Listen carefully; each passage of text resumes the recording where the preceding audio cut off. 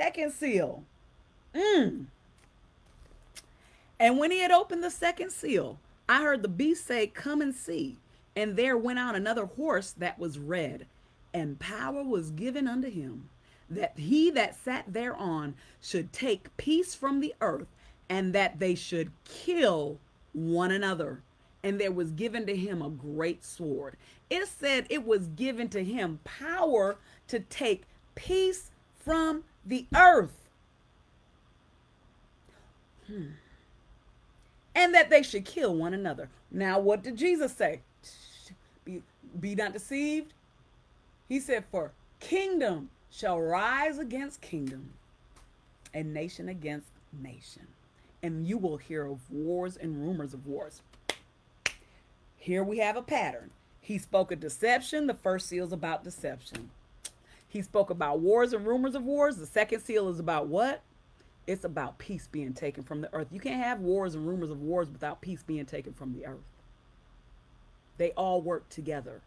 He Jesus literally in Matthew 24 gave the seals of revelation in the exact same order that revelation is given in. Terrifying. And so you have the atmosphere of hatred and murder. He said that love was going to wax cold. He said that there was going to be conflict. Now, when you define conflict, conflict is a noun that is about serious disagreement or argument, typically a protracted argument lasting a long time or longer than usual. It's also defined as a prolonged armed struggle, opposing wishes or needs, incompatibility of two or more opinions, incompatible or at variance with each other.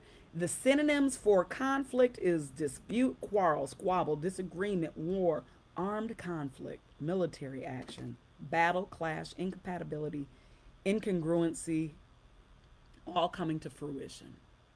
These are things that come with the second seal atmosphere. When peace is taken from the earth. Now, I'm going to tell you, me personally, I think peace was taken from the earth around 2020. I think I think when 2020 happened, and for reasons obvious, I don't feel like dealing with with all whatever fallout may come with me saying the very obvious thing that may have that happened in 2020. I don't believe that that was a natural occurrence. I believe it was man-made. So for man to take peace from the earth and to kill one another, and we're even finding labs now with this engineered inside of a California lab. Peace taken from the earth. Love gone. There's no concern about human, human man, your fellow man. There's no concern. But love is wax cold. And with all the, and see, mm, it comes down, it really comes down, and we about to hit it with the third seal. It really comes down to greed. When you talk about population control, when you talk about things that will allow certain people to live more comfortably than other people, then you actually know what it is to say, okay, these things have a deeper and a darker meaning than, you know, we're living through it. Sure, yeah, we're living through it. But then at the same time, we don't really know. I say it all the time, and I've been saying it way more than often. The matrix is real, but it's spiritual.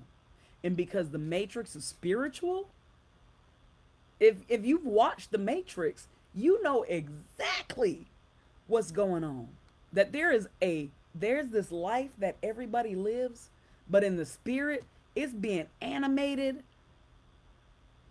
by forces seen and unseen it's being animated by the spiritual good and the spiritual evil the things that we see during the second seal these are the things that we'll see during the second seal that we have seen love lost hatred is increased, there's a disregard for fellow humans.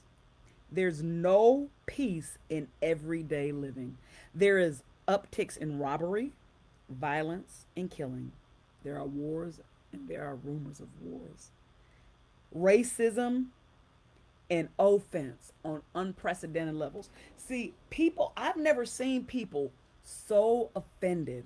I just watched a video a couple of hours ago. Yeah, that was earlier today, where this um, a trans woman began to hit this man, and I don't actually I still ain't got down what trans man, trans woman is, whatever.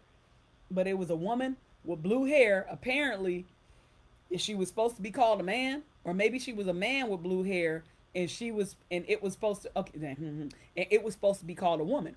I don't know, but apparently the man called it what it looked like. So it looked like a woman, and this woman-looking person started to punch him in the midst of a county fair. Now they were in some kind of fair, and this uh, woman with blue hair began to punch him because he mis he he misgendered her. Huh. Misgendered?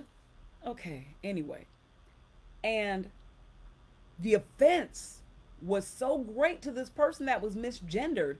They pulled out their phone and they began recording them and saying, We're I'm gonna um I'm pressing charges against you and where's the police? Because I want the police to arrest you. You're so offendable and yet so offensive at the same time. How can you be so, how can you hit someone because they misgendered you, but then at the same time want them arrested for misgendering you? The greater offense is hitting someone. Last time I heard, when you hit someone, that was assault misgendering as an actual uh, uh, offense and going to jail, persecutable by law, there's an uptick in that. Families at odds and overall conflict. This is the second seal.